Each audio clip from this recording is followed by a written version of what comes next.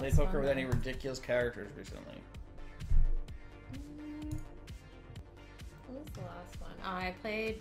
I played with this Russian guy, who just like we were at the table. We were playing for a really long time, and he like gets up and makes a seat change, and he like loses a pot to to one of my friends um, at the table, and he looks at the guy, and he's like, "What did he say?" He goes, he goes, "It's okay. I don't need the money. I have plenty of money. I have so much money. I have two houses, one here, one down in one down in Oceanside. It's no problem, no problem at all. Oh, and in case I didn't tell you, both my sons are doctors.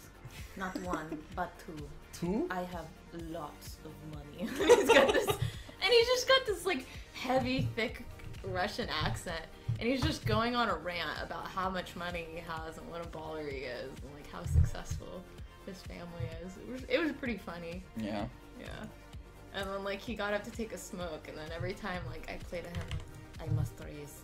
I have a very good hand and too much money. All right, they want more Russian story. They really like the Russian story.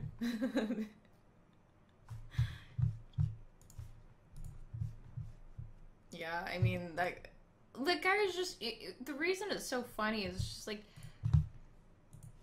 I just would never think somebody would actually say this. Well, out yeah, but like, but but but did they know how much money he had? right? They didn't know, so he had to how like how are they gonna know if he didn't tell them? Don't worry, now everybody knows. Damn, I want to call this. Is that sick?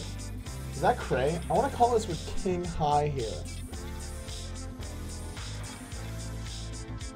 I want to call this King High. I really do.